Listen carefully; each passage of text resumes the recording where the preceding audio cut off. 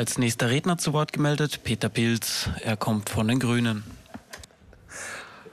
Äh, werte Kolleginnen und Kollegen, meine Damen und Herren auf der Regierungsbank, lieber Andreas Kohl, lieber Rudi Hunsdorfer, auch ich wünsche euch beiden alles Gute und ich wünsche mir, dass ihr schon in wenigen Monaten als besonders sympathische Ehrengäste zur Angelobungsfeier von Bundespräsident Alexander van der Bellen eingeladen werdet.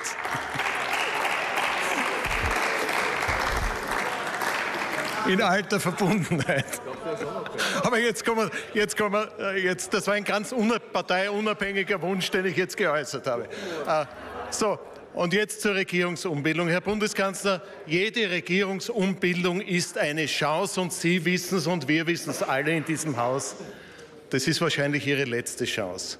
Und die Qualität eines Bundeskanzlers misst sich auch daran, wie er seine Chancen nützt. Und jetzt drehe ich mich nur noch links um und schaue auf die Regierungsbank und frage Sie nur eins. Was haben Sie sich dabei gedacht? Was haben Sie sich dabei gedacht? Am einfachsten tue ich mir nur, tue ich mir noch mit dem Minister Stöger. Minister Stöger ist ein ausgezeichneter Verwalter dort, wo es ums Verwalten geht. Gesundheit verwalten, okay. Äh, Infrastruktur verwalten hat auch gerade noch geklappt. Aber ist es wirklich Aufgabe im Sozialministerium, jetzt die größten Fragen dieser Republik zu verwalten? Eine Million Menschen in Österreich an der Armutsgrenze und Stöger wird geschickt, um zu verwalten. Der Rechnungshof berichtet uns, dass die untersten 10 Prozent der männlichen Einkommensbezieher und da geht es nicht um Flüchtlinge, es ist keine Ausländerdebatte. Die untersten 10 Prozent der männlichen Einkommensbezieher in den letzten zehn Jahren 52 Prozent ihres Bruttoeinkommens verloren haben. Und viele Frauen hat es noch schlimmer erwischt. Und da schicken sie einen Verwalter hin und nicht einen der wenigen Politiker oder Politikerinnen, die sagen, ja, ein politischer Wechsel ein Richtungswechsel, eine neue Politik ist möglich. Ja, Österreich ist reich und stark genug, um Armut erfolgreich zu bekämpfen. Ja, wir sind ein reicher Staat. Ja, wir haben gute Unternehmen. Ja, wir haben qualifizierte Mitarbeiterinnen und Mitarbeiter. Und wir probieren was Neues. Das Problem ist ja nicht draußen in den Unternehmen, unter den Arbeitnehmern und Arbeitnehmerinnen, unter den Studenten und Studentinnen. Das Problem sitzt hinter mir und vor Ihnen, meine Kolleginnen und Kollegen. Das Problem heißt österreichische Bundesregierung. Wenn Politik nicht gestaltet wird, dann können die Probleme nicht gelöst werden. Und jetzt gehen wir von Stöger zu einem anderen Regierungsmitglied und da wird dann alles klar. Herr Bundeskanzler, wie konnten Sie auf die Idee kommen, den gescheiterten Verteidigungsminister an die Spitze des Infrastrukturressorts zu setzen? Ja, ist es bei Ihnen üblich, wenn ein Unternehmensberater zu Ihnen kommt und Sie sagen, ich brauche einen Vorstandsvorsitzenden für eines der besten Unternehmen Österreichs und der sagt ich habe einen, der hat gerade einen riesen Konkurs gebaut und ist vollkommen allein schuld an dem Konkurs. Und der, und der Minister Feimann oder der Kanzler Feimann sagt, ja, hurra, er hat gerade einen Konkurs gebaut. Na, das ist der Richtige. Den nehmen wir aus dem Verteidigungsministerium, das hat er runtergewirtschaftet und geben ihm das noch funktionierende Infrastrukturministerium. Ja, was hat der Bundesminister klug geleistet? Er hat einen Dienstwagen gemanagt. Er hat Einsätze des österreichischen Bundesheeres von Syrien bis Ukraine angekündigt. Zum Glück ist nichts daraus geworden. Er hat, danke noch einmal, mit drei Wochen Verspätung eine Gulaschkanone an die südsteirische Grenze gebracht. Aber er hat nicht die Wehrpflicht reformiert. Er hat nicht die Kasernen in Ordnung gebracht.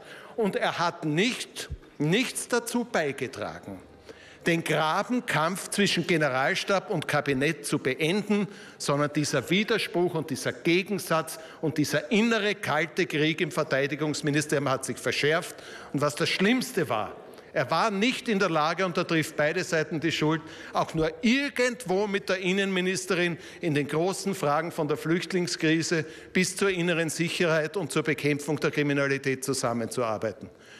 Ja, und jetzt wenn er nicht einmal einen Dienstwagen managen kann, lassen Sie ihn auf die ÖBB los. Herr Bundeskanzler, ich verstehe Sie nicht. Wie sollen das die Menschen verstehen, dass der Minister, der am dramatischen gescheitert ist, jetzt, wie der Vizekanzler richtig sagt, für die Zukunft verantwortlich sein soll? Und dann der neue Verteidigungsminister verdiente Vorschusslorbeeren an der burgenländischen Grenze. Ich habe ihn selbst dort getroffen, gesehen, was er tut. Ausgezeichnete, hochkompetente, sehr beruhigende Arbeit in einer sehr aufgeheizten Situation. Und jetzt gibt er seine Eintrittskarte als Verteidigungsminister ab und schlägt vor, Präsenzdiener in den Flüchtlingseinsatz an die Grenze zu schicken. Sinnvollerweise sagt die Polizei, wir schicken unsere qualifiziertesten Beamten und wollen keine Polizeischüler und Polizeischülerinnen. Und bei uns sitzen die qualifiziertesten Soldaten und Soldatinnen in Kasernen in einem traurigen Zustand. Und Sie wollen die Präsenzdiener an die Grenze schicken?